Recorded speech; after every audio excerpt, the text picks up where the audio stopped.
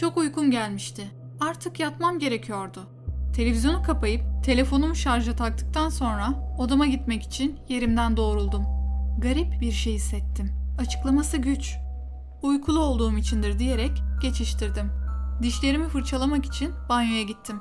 Ağzımı çalkaladıktan sonra aynada bir saniyeliğine sanki bir kız görmüştüm.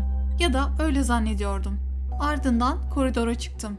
Koridorda bir değişiklik olduğunu fark etmem uzun sürmedi. Başka bir şeyler vardı. Çamurlu ayak izleri. Elim ayağım birbirine girdi. Titriyordum. Belki de o kızdı. Yatağıma gidip uykuya dalarsam belki rahat bırakır diye düşündüm. Koşarak odama gittim. Üstüme örtüyü çekip gözlerimi kapadım. Lanet olsun. Işık açık kalmıştı. Beni fark edecekti. Kapatmak için uzandığımda koluma bir el dokundu. Çekerken lambanın yanındaki bardağa elim çarptı ve lambanın bağlı olduğu prize su damladı. Şimdi daha kötüydü. Cızır cızır ses çıkarıyordu. Son kez fişi çekmek için atıldığım anda kafası öne eğik bir şekilde bana bakıyordu. Sanırım son saniyelerimi yaşıyordum. Hemen fişi çekip örtünün altına girdim. Belki de yarım saat geçmişti ama bir şey olmadı. Nefes alamıyordum artık. En azından nefes alacak kadar yer açsam olur diye düşünürken garip sesler gelmeye başladı. Lanet duvarıma bir şeyler çiziyordu. Anlamıyordum. İşi bittikten sonra odamdan çıktı. Okumamı istiyordu ama anlamıyordum. Başka bir dilde yazılmış gibi gözüküyordu. Kısa bir süre sonra nasıl olduğunu anlamadan okumaya başladım. Herhalde 2-3 gün aynı yazıyı okudum. Şimdi her gece başka bir evde aynısını başka insanlara yapıyorum. Belki de bu gece sana gelirim. Olmaz mı?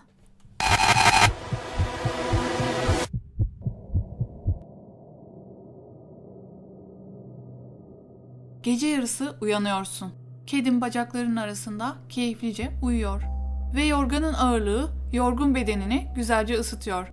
Mutluca iç çekiyorsun. Tam tekrardan tatlı bir uykuya sürüklenmek üzereyken kedin bir anda tıslıyor. Ve telaş içinde yataktan fırlayıp perdelerin arkasına saklanıyor. Daha önce hiç böyle garip davranmamıştı. Ve bu davranışı seni tedirgin ediyor. Onu ürkütebilecek herhangi bir şey var mı diye odana bakıyorsun. Ama her şey normal görünüyor.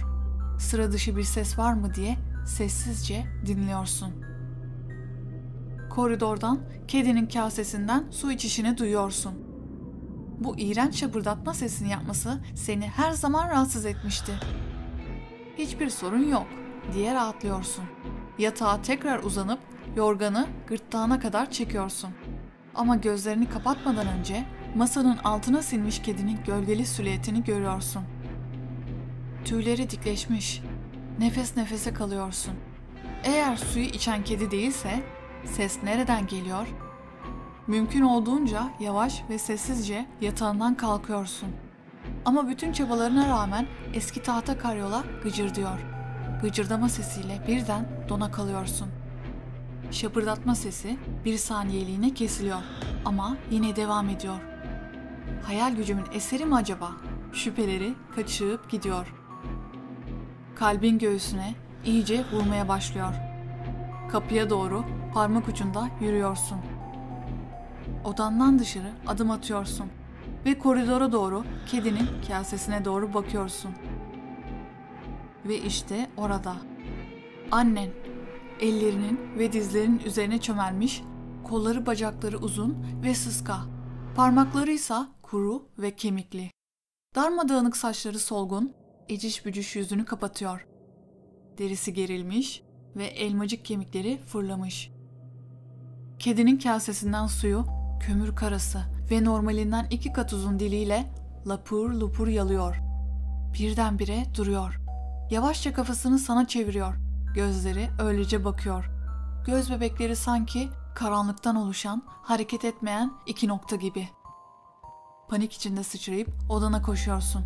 Ama annen dört ayak üstünde peşinden fırlıyor. Kapıyı arkandan kapatıyorsun. Saniyeler sonra kapı şiddetlice sarsılmaya başlıyor. Gürültülü vurmalar evin içinde yankı yapıyor. Hiç düşünmeden vücudunu kapıya siper ediyorsun. Bütün kapı iskeleti vahşice sarsılıyor.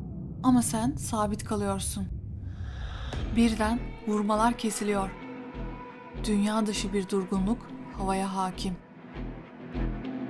Sessizlikten birkaç saniye sonra kapı kolu dönmeye başlıyor.